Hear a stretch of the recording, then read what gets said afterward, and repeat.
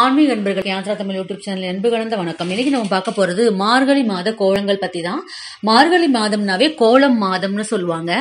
அதிகாலை நாலு மணிக்கு எந்திரிச்சு நம்ம வந்து கோலம் போடும் பொழுது நம்மளுக்கு ஆக்சிஜன் வந்து ஓசோன் மண்டலம் கீழே வரும்னு சொல்லுவாங்க. தூய காற்று நம்மளுக்கு சுவாசிக்கிறது கிடைக்கும். அந்த வருஷம் முழுசும் நம்மளுக்கு வந்து உடம்பு வந்து எந்தவித நோய்களும் இல்லாம நல்ல ஒரு ஆரோக்கியத்தை ஏற்படுத்தி கொடுக்கும்.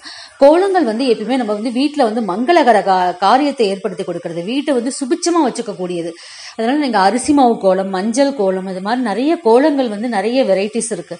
கோலங்கள் நாங்கள் போடலாம். வா வாசல் வந்து உப்பு மஞ்சள் தண்ணி தெளித்து சாணம் போடுறது. அந்த மாதிரி சாணம் தெளித்து போடும்பொழுது ரொம்ப ரொம்ப சுபிச்சம் உண்டாகும். மகாலட்சுமி கடாச்சம் உண்டாகும்.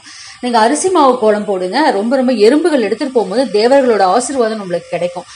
க- நல்ல ஒரு புழு பூச்சிகளுக்கு எறும்புகளுக்கு தான் அது தீனி கொடுக்குறோம் நம்ம வந்து செஞ்ச செய்யாத பாவங்கள் ஏழு ஜென்ம பாவங்களை நம்ம வந்து நீக்கக்கூடியது இந்த இது.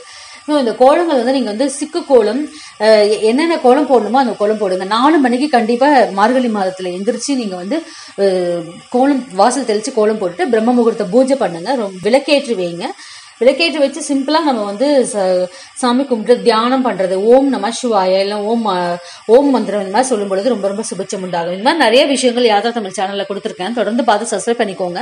உங்களுக்கு யூஸ்ஃபுல்லா இருக்கும். இன்னும் நிறைய வீடியோஸ் வந்து கோலங்கள் சம்பந்தமா நிறைய வீடியோஸ் கொடுக்குறேன். தொடர்ந்து பாருங்க. சப்ஸ்கிரைப் பண்ணிக்கோங்க. மீண்டும் ஒரு நல்ல பதிவு சந்திக்கிறேன். நன்றி வணக்கம்.